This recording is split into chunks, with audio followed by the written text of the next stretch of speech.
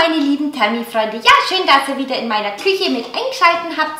Heute möchte ich mit euch zusammen Knoblauchfladen machen. Gerade jetzt zu der Grillzeit ganz optimal perfekt, aber auch als Beilage oder so. Wer gerne Knoblauch will, ist es genau das Richtige. Von den Zutaten her, wie ihr seht, habe ich alles schon wieder hergerichtet und schon abgewogen, damit es wieder schneller geht. Wir fangen auch direkt gleich an.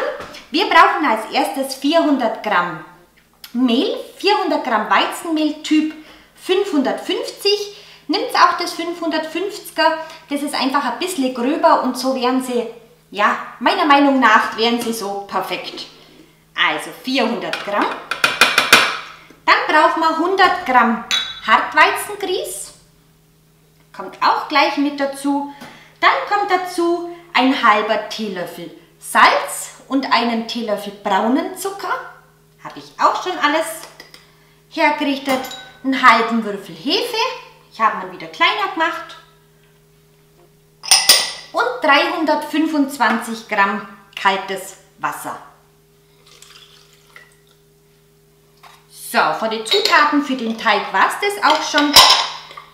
Viele haben das alles auch daheim, also man kann also wirklich gleich loslegen. Das Ganze wird jetzt 5 Minuten auf der Teigknetstufe verknetet. Also 5 Minuten.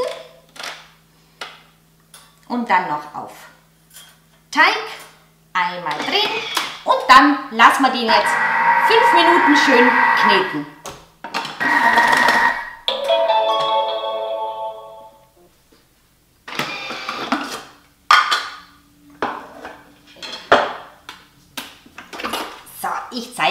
Einmal. Schaut mal, so sieht der Teig jetzt aus. Wunderbar wieder, so wie ihr gehört. Ja, und den fülle ich mir jetzt direkt gleich um. Weil der Teig muss jetzt 20 Minuten ruhen und da reichen auch wirklich 20 Minuten vollkommen aus. Geht auch immer ganz toll raus, der Teig. Also bleibt nicht viel im Mixtopf hängen. Schauen wir mal, wie es heute ist. Meistens ist ja Vorführeffekt. Aber normalerweise ist es immer, naja, heute bleibt er natürlich hängen, aber den holen wir uns noch schnell mit dem Spatel raus.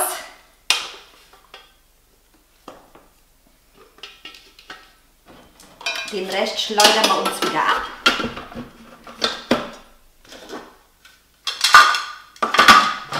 Einfach auf der Stufe 10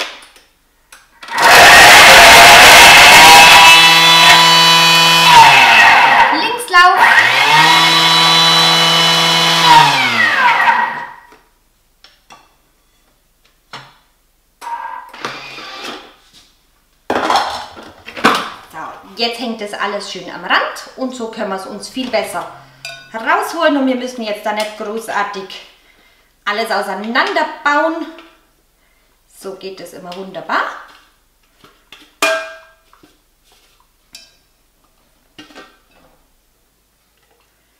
So, das hängt noch.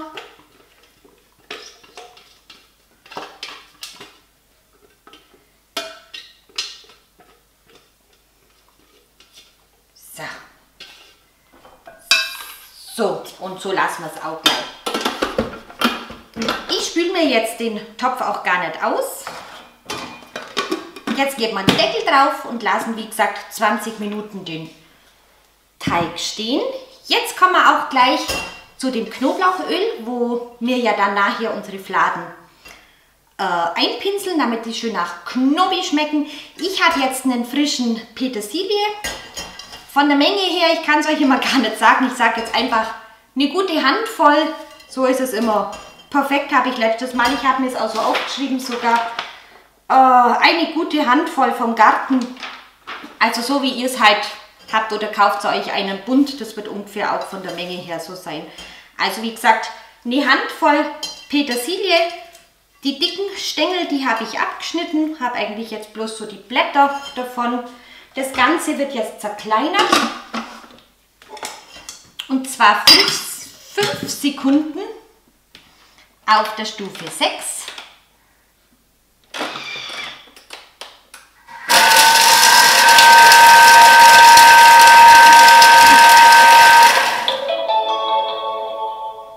Den füllen wir uns jetzt wieder um.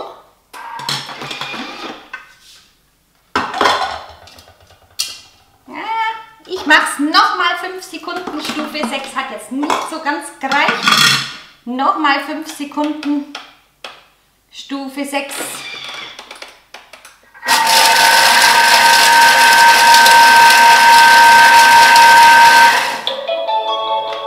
Schauen wir mal, wie er jetzt aussieht. Ja, ich glaube, jetzt ist besser. Ja, guck dabei, so sieht er jetzt aus. Den füllen wir uns jetzt wieder um.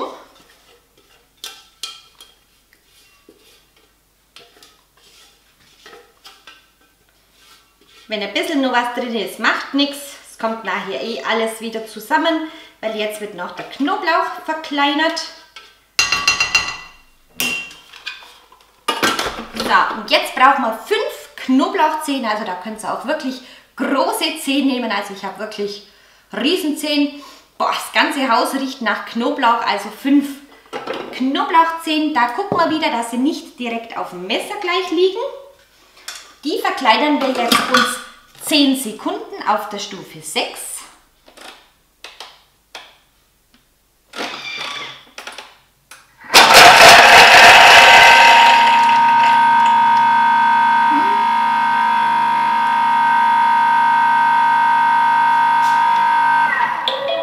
Ja, hätten 6 Sekunden auch gereicht. Das Messer ist schon ins Leere gelaufen.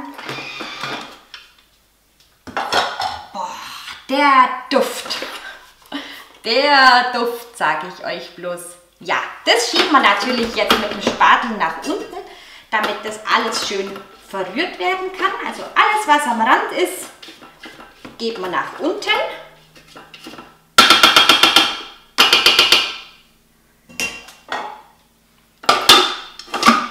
So, und jetzt schalten wir unseren Thermi auf die Stufe 2. und geben durch die Deckelöffnung oben drei, El drei Esslöffel Olivenöl mit dazu.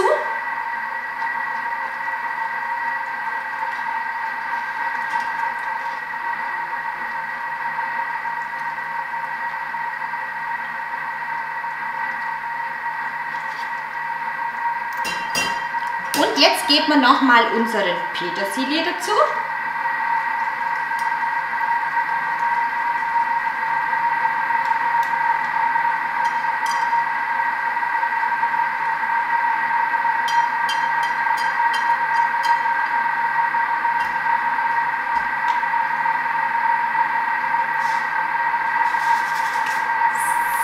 Dann geben wir unseren Deckel drauf. Und dann drehen wir unseren Thermi einfach stufenweise immer höher.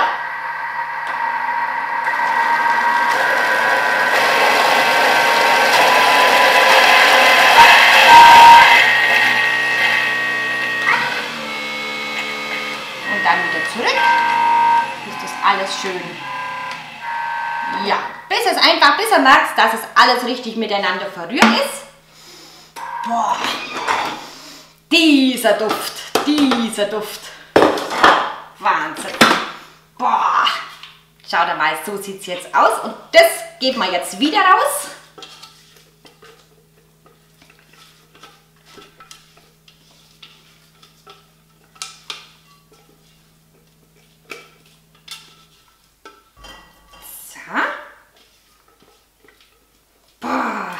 Wahnsinn, das riecht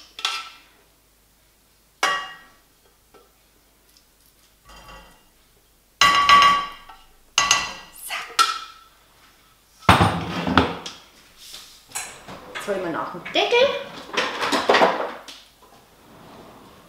Das Ganze decken wir uns jetzt die 20 Minuten einfach noch ab. Und der Zeit, wo uns der Teig jetzt noch schön geht, lassen wir das jetzt auch noch 20 Minuten durchziehen und dann streichen wir das dann auf die Fladen drauf. Aber so weit sind wir noch gar nicht. Wir sehen uns, wenn der Teig fertig gegangen ist. So, mein Teig ist jetzt 20 Minuten gegangen. Also ich bin wieder total begeistert, wie er aufgegangen ist. Und es reicht wirklich die 20 Minuten vollkommen aus. Mein Backofen heizt sich gerade schon vor auf 230 Ober-Unterhitze. Was ich vorhin noch ganz vergessen habe zu unserem Petersilien-Knobi-Gemisch, äh, ihr müsst noch drei Esslöffel Olivenöl dazugeben. Das habe ich dann noch im Anschluss gleich gemacht. Und so ist es jetzt wirklich, boah, die 20 Minuten noch wunderbar durchgezogen. Aber Rezept schreibe ich euch ja wie immer unten in die Infobox und da schreibe ich das auch ganz genau dazu, dass ich noch drei Löffel, drei Esslöffel Olivenöl dazugeben habe. Ja, dann machen wir mit unseren Fladen auch gleich weiter. Ich bemehle jetzt meine Arbeitsfläche ein bisschen.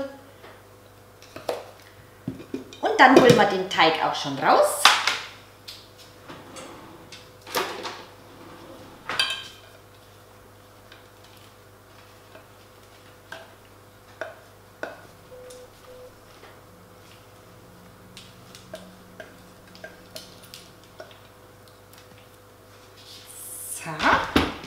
gebe oben auch noch mal mit dem Streufix ein bisschen Mehl drüber.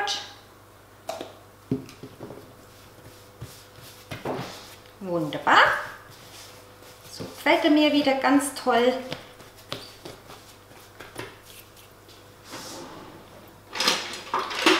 So, dann schneiden wir uns sechs Teile.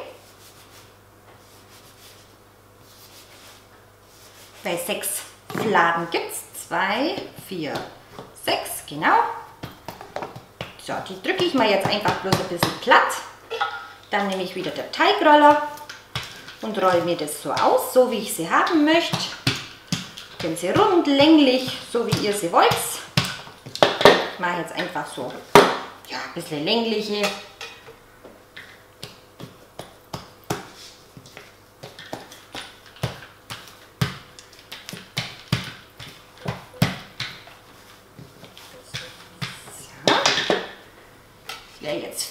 draufbringen auf einen. Der wird groß. Ihr könnt auch kleinere machen, aber ich habe jetzt letztes Mal auch sechs Stück gemacht und das war eigentlich von der Größe her war das perfekt.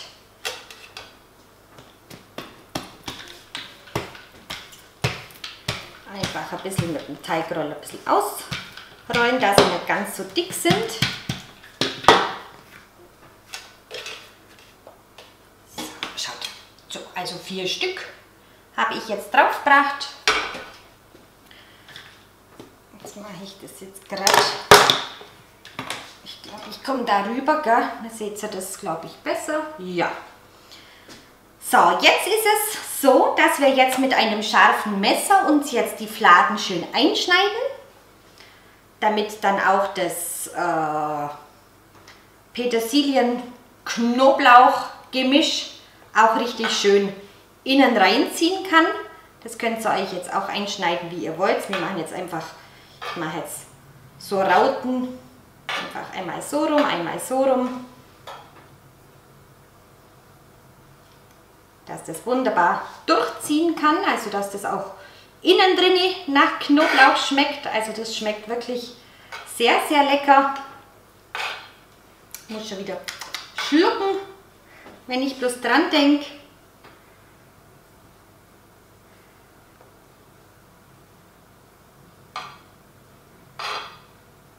Einschneiden, dass das wirklich schön innen rein kann. So, wunderbar. So, und dann nehmen wir unsere Masse, wo wir uns vorhin schon vorbereitet haben. Boah, wenn das ihr riechen könntet, Wahnsinn. Wahnsinn. So, und da gebe ich jetzt überall so ein Löffelchen drauf. Also wie gesagt, letztes Mal hat es genau für 6 gereicht. Ja, und so machen wir es wieder. Schaut, das ist jetzt genau für die anderen zwei noch der Rest. Dann nehme ich jetzt einfach den Pinsel und verstreiche das noch. Schaut auch mal ein bisschen anders aus mit dem Grün, mit dem Petersilie. Nicht nur immer so mit Olivenöl und Knoblauch, sondern mal mit Petersil von der Farbe her auch ganz was anderes mal. Boah, und ein Duft. Und jetzt geben wir oben drauf noch ein bisschen Salz und Pfeffer. Frisch aus der Mühle. So. Das Ganze schiebe ich, oh, Pfeffer, Und das Ganze schiebe ich jetzt in den vorgeheizten Backofen bei 230 Grad Ober-Unterhitze. Ihr wisst ja, die Stoneware-Produkte kommen immer auf dem Rost. Ganz nach unten, so wird das Backergebnis am besten. Jeder Backofen backt natürlich anders, heizt anders. Darum schaut einfach, macht Blickkontakt von der Zeit her. Ich habe mir jetzt vermerkt 15 bis 20 Minuten. Wie gesagt, kann bei euch 25 sein, kann auch nur 12 Minuten sein. Ja, das seht ihr ja selber. Ich mache die jetzt und dann mache ich die anderen zwei gleich und schiebe sie dann rein, wenn die fertig sind. Ja, und wenn sie dann alle sechs fertig sind, hole ich euch wieder dazu und zeige euch natürlich, wie sie fertig ausschauen. So, meine Knobi-Fladen sind fertig. Ich bin wieder total begeistert. Schaut mal, wie die wieder ausschauen. Die ganze Küche, das ganze Haus duftet, also hammermäßig. Bei mir waren sie jetzt genau 17 Minuten im Ofen, aber ich habe euch vorhin ja schon gesagt, jeder Ofen ist anders, also ich bin wieder total begeistert, schaut mal. Also ich kann nicht mehr sagen wie nur traumhaft, absolut Geschmacksexplosion, das weiß ich. Hm. Traumhaft. Ich kann nur sagen, traumhaft. Macht es nach, ich würde mich wahnsinnig freuen, wenn ihr es mal ausprobiert und mir dann in die Kommentare schreibt, ob es euch genauso geschmeckt hat wie bei uns. Ja, bei uns war es das heute, glaube ich, mit dem Grillen. Bei uns zieht es zu. Es fängt auch schon leider zum Tröpfeln an. Dann gibt es halt die Würstel heute in der Pfanne und die dazu. Schönen Salat und fertig. Ja, Rezept steht wie immer unten in der Infobox. Ich verabschiede mich bei euch. Macht es gut. Vielen, vielen Dank fürs Zuschauen. Bis zum nächsten Mal. Eure Termimanu.